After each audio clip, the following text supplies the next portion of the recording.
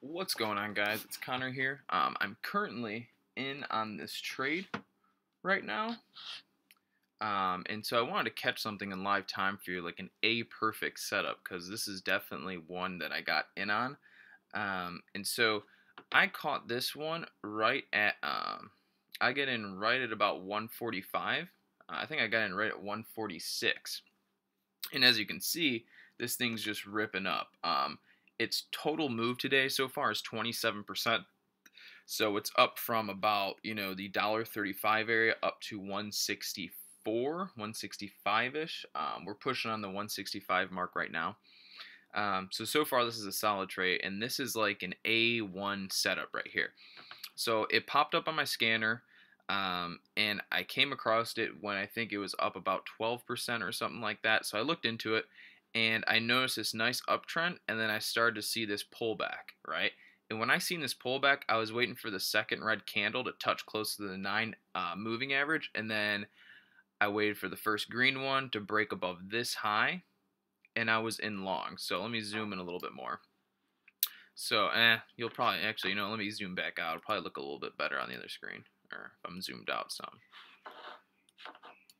So, um, I waited for this green candle to break above the high of this red and then I went long on it and I've just been riding it up all the way because it's had just a perfect setup. It's there's a lot of traders watching this. Look at the volume.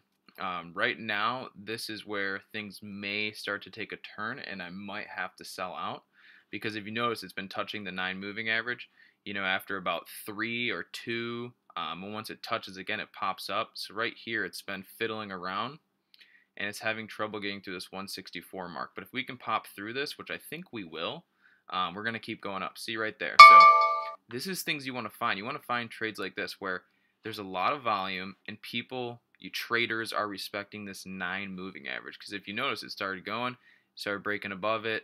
And once it gets a little high above the 9, it'll sell off, tap it, come back up, trade sideways, tap it, come back up, trade sideways, tap it, come back up.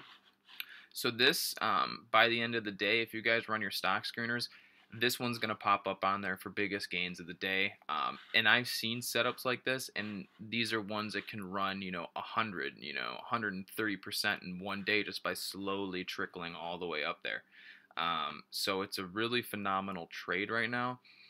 And um, so let me, I want to keep a close eye on it because I'm also in the trade right now, but I'm going to go to a one year day chart.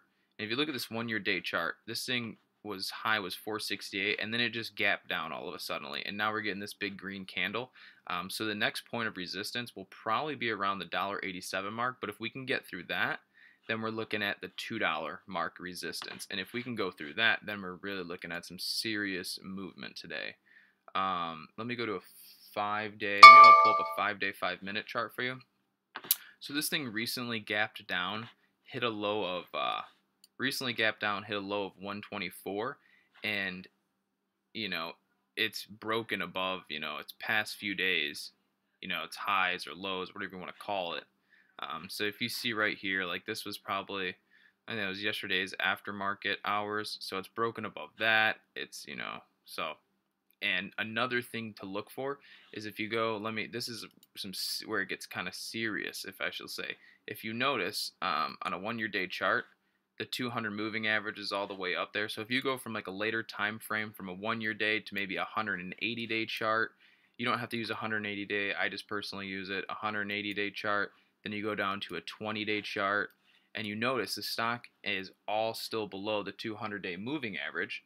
This is the nine. Um, I believe I have this as the 50, 100. I, I got to double check. I'm not exactly sure what I have up here right now, but this is the nine moving average. But when you keep going from a, um, a longer time frame down to a sooner time frame, so I went from one year to 180 day to a 20 day, and the the 200, the purple line, is still above the nine moving average. Now, as I move into like a five day, five minute chart, look at ready. The blue or the the purple 200 moving average is still below the nine moving average. But when I move into the one day, one minute chart, the blue line has now crossed with the purple line, signaling an uptrend, a huge uptrend. And that's why you see this huge movement.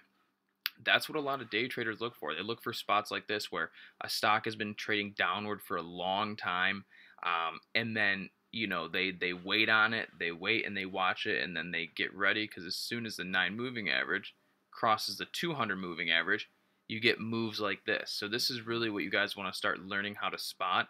And it's not easy. It's a patient waiting game because look at this. If I go back to, let me go back to the one year day chart. I mean, look at this thing, right? This thing has been trading for, what's this, you know, a couple months below the 200 day moving average, and then it gapped down. So there's been people that have had their eyes on this for weeks, months maybe. And, you know, so being patient and waiting to strike at the right time is what it's all about.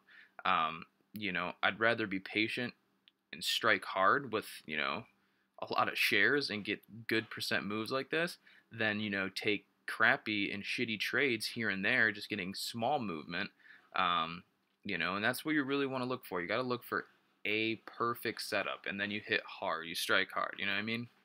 Um, so like I said, this thing's just trickling all the way up. So you know, it's touching the nine, bouncing back up, touching the nine, bouncing back up.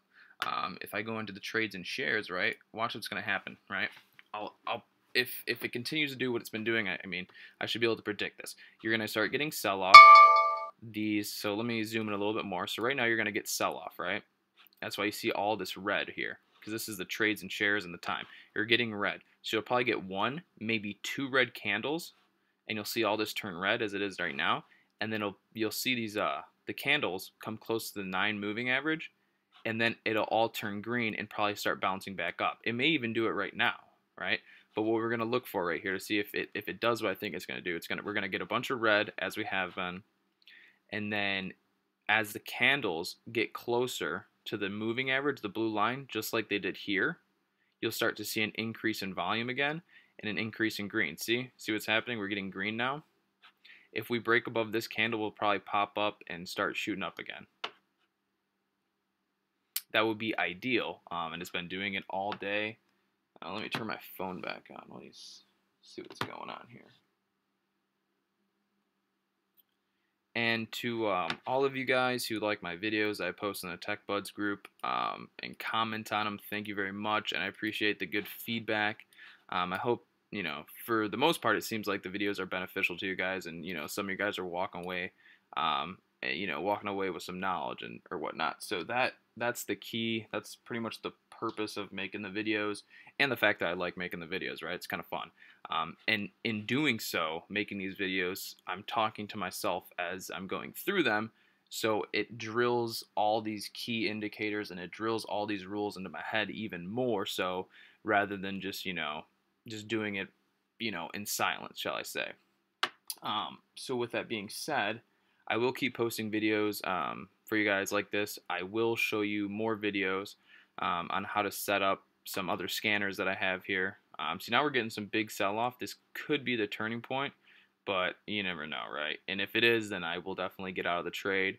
Um, but I personally think this thing's going to keep going, you know, like all day.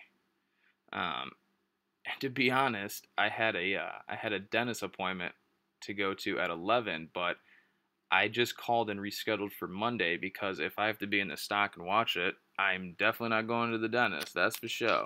So, um, this is uh, what you call a perfect setup, you know, and if it keeps doing again, like we see, we'll see some sell off, and then the next candle will probably go red or it may go green. Obviously, it's going red or green. It's got to be one of the two.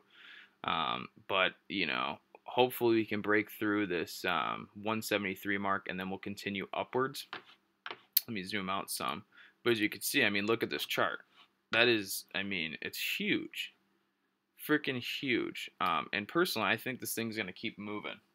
Um, so, like I said, I will post some more videos of scanners for you, how to set some other really good scanners that'll help you find stocks like this. Um, and trust me, it's not going to be every day that you have a stock like this. Like this just so happens to pop up on my scanner today, um, and I get in on it because I see the perfect setup.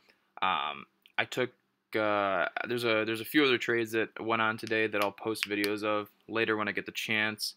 Um, I know Ricky's working on getting them in as quick as he can for you guys. Um, so give him some time. The dude's probably super busy with all the stuff he has to control with his YouTube channel and this channel or the Tech Buds group. So give him some seconds, but he'll get the videos up for you, and I will keep posting them as we go. And any questions you guys got, just comment in. I'll try and get to them as best I can with my work schedule and so on and so forth. So happy trading, guys, and I hope you guys crush it this week.